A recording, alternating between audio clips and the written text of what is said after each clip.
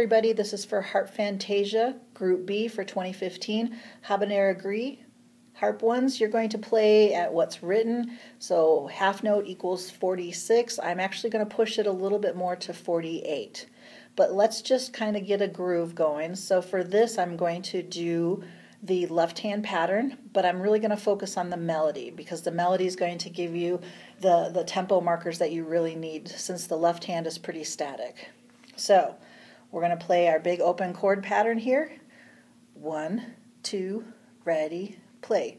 One and two and three, four, one and two and three, four, one and two and three, four, one, two, three, four, one, two, three, four, rest. One, one, two, three, four, rest. Two, four, one, two, three, four, one, two, three, four, one, two, three, four, rest, two, three and four and one, two, three, four, one and two and three and four and one, two, three, four, rest, two, three, four, one, two, three, four, one, two, three, four, one, two, three, four, rest, two, three, four, one, and.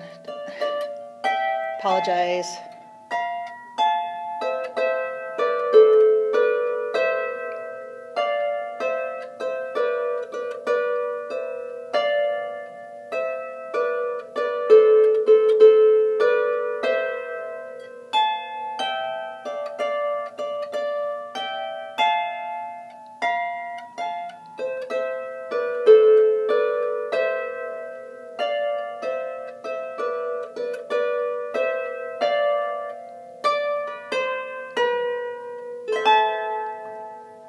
So let's see if you can practice along with this tempo, and I think you'll do great.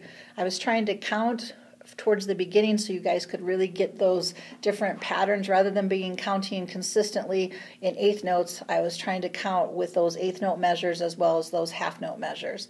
So um, if you have any questions please give me a call but at least this should give you something to practice along with. Thanks